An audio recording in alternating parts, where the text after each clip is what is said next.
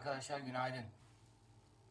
Blog sayfamda French Press kahve yapımı ile ilgili bir makale paylaşmıştım. Onunla ilgili birkaç mail geldi. Çekirdek kahvenin evde nasıl öğütüleceği ve nasıl kahve hazırlanacağına yönelik hem fikir verenler olmuş hem de bazı soruları yöneltenler oldu. Şimdi birazdan sizinle evde çekirdek kahveyi öğütüp e, French Press hazırlama şeklinde bir çalışma yapacağım. Arkadaşlar bunun için ihtiyacımız olan bir Magic Bullet e, mutfak robotu. Her evde bulunan e, blenderda bu işi yapabiliyor. Şimdi ben e, kahveyi genellikle Chibo'dan alıyorum. Chibo'nun e, birkaç kahvesini birleştiriyorum. Şöyle African Blue ve Guatemala Grand kahvesini e, birleştirerek yapıyorum. Şimdi tabi ölçüleri ben kendi daha önceden çok yaptığım için göz kararı yapabiliyorum ama siz tabi sertlik ve yumuşaklık veya doygunluk e, zevkinize göre karışımı hazırlayabilirsiniz.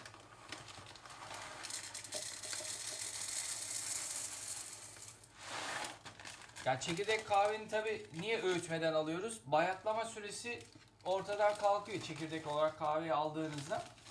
Ee, öğütmeden itibaren bayatla süre, süremesi başlıyor. Ee, ben çekirdeği kahveyi aldığımda e, vakumlu kapta zaten muhafaza ediyorum. Hiçbir şekilde içine hava girmesi mümkün olmuyor. Dolayısıyla e, kahvenin tazeliği ömrü daha uzamış oluyor. İşte şu şekilde hiçbir şekilde içine hava girmesi mümkün değil. Ee, şöyle iki kahveyi hazırladım çekirdek olarak. Şimdi bunu gösterdiğim blenderda yani Magic Bullet dediğimiz blenderda öğüteceğim.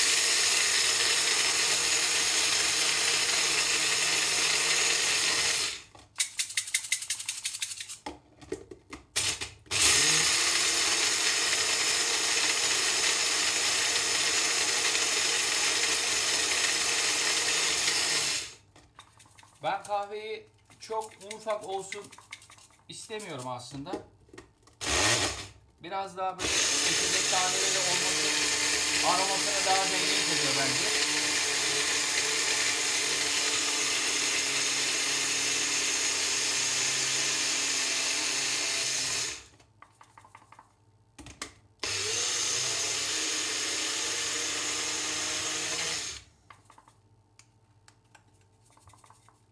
Ve neredeyse oldu.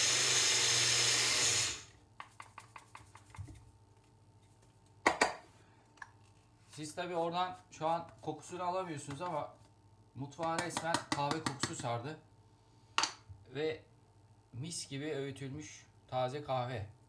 Şimdi tabi bu zevki taşlandırmak lazım.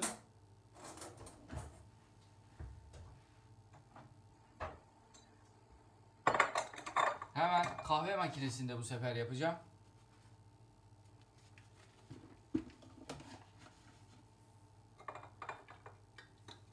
Bu arada ölçüyü de ben her bir fincan için bir kaşık e, kullanıyorum. Şöyle bir kaşık kahve bir fincan için bana yetiyor. Ben biraz sert de seviyorum aslında. Dediğim gibi tamamen zevke, keyfe bağlı bir durum. Evet, makinamızın fişini de taktık.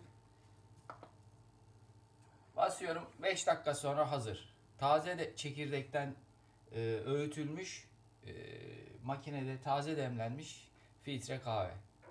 Afiyet olsun. Arkadaşlar kahve oldu. Ve doldurdum. Ve inanılmaz bir lezzet olmuş. Ya muhteşem bir şey. Şiddetle tavsiye ediyorum. Burada işin en nokta can alıcı noktası tabi kahvenin seçimi. Dediğim gibi ben Chibo'nun kahvelerini çok tercih ediyorum. Ee, çok yoğun bir aroması ve sertliği çok düşük kahveler. Ee, çok çok böyle aşırı sert sevenlerin çok hoşuna gitmeyeceği türden belki ama ee, muhteşem. Şiddetle tavsiye ediyorum size. İyi pazarlar.